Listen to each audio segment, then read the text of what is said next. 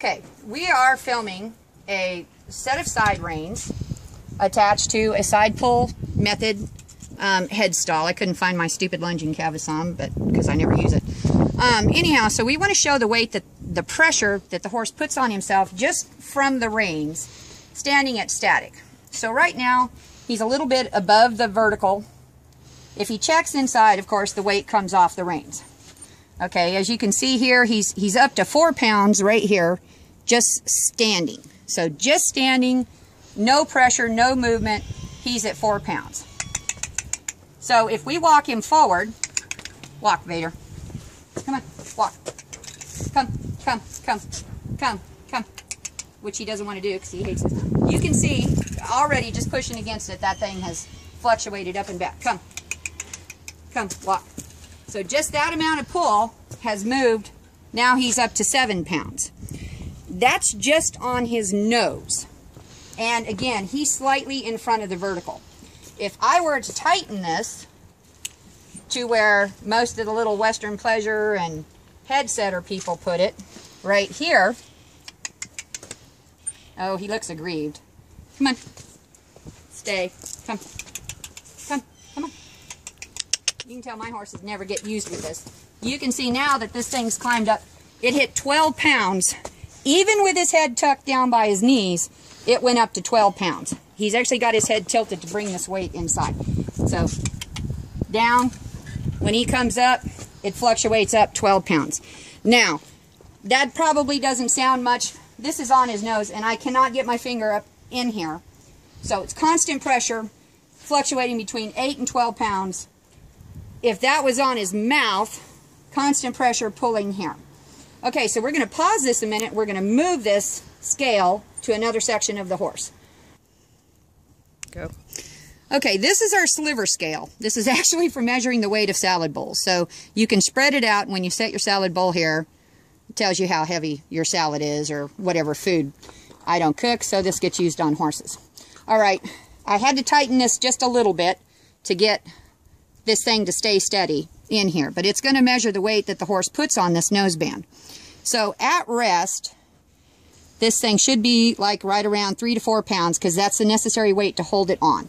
Now we're going to tighten our side rein right back to the setting that we had it when he was putting four pounds just on the side rein. Okay? Woo. So now it's right to where he's putting four pounds on the side rein. Now you can see when he fluctuates up on this noseband, it, it'll get clear up. Okay, this is upside down. This is pounds, this is ounces. So up and back, anywhere from 11, look like 18 at some points, and then down back to 4 to 5 pounds, which is our static weight. So now he's yielding, so not so much pressure on the noseband. He's dropping his head down, so that's taking the weight off of it. And now we're going to push it back up there we go, 12, 15 pounds.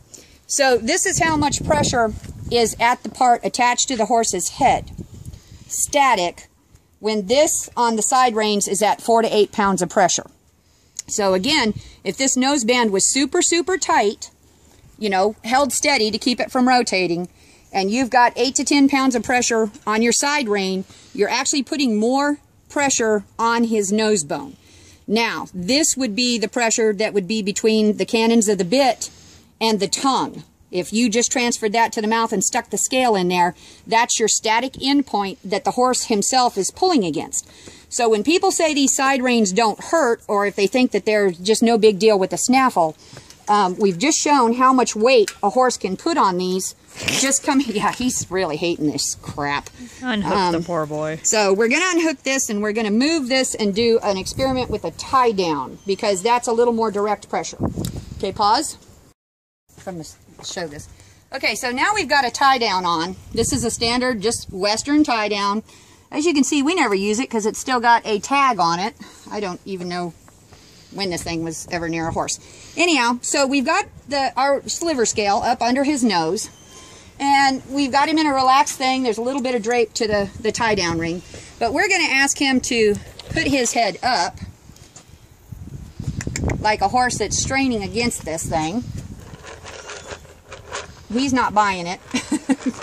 and there we go. He's definitely putting pressure. I can't, damn it, see the numbers. Um, it's going up about to six pounds just pulling up against it. So anyone that thinks that these things don't put pinpoint pressure on nerve. Now, if I was pulling this back down, if I had this tightened to where he started off on the vertical, come on, stick your, he's not falling for this at all.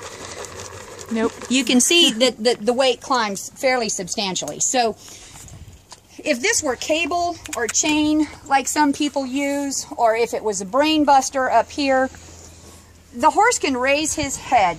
He's got 300 pounds of pressure that he can exert from his neck. If you just literally stuck a 300 pound weight, hung it off his neck and spooked this horse backwards, he can pick it up with his neck. So at the, any given point, as he's straining against a tie down, he is hitting all of these superficial nerves here and even pulling back against the caudal ear caudal nerve up here by the ear. If you had a brain buster on him across here, same thing. You're going to get the damage here. And again, 300 pounds of pressure, just base. I mean, he was running up into the double digits just standing here. And that's not at a gallop. That's not me dragging his head into a turn. Now, the other aspect you have to consider, a lot of people do um, singles or they do the bit training where they run it from the bit between the horse's leg, loop it up around their spine right here. And the other thing we need to notice, get your head up, is that when you bring a single strand leather rein up around the horse's spine and he's exerting his 300 or so pounds of pressure, he's basically putting it right here on the spine.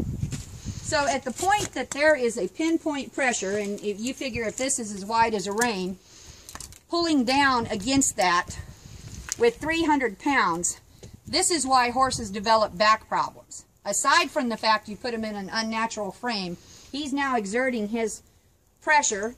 He's pulling against this noseband. He's pulling up through his legs. So again, anything the leather touches between his legs hit nerves and he's putting pinpoint pressure down on his spine. That's why I hate to see colts or older horses worked with that stuff where they just bring the reins up through the legs and tie it over the back and they think they're teaching their horse to be soft.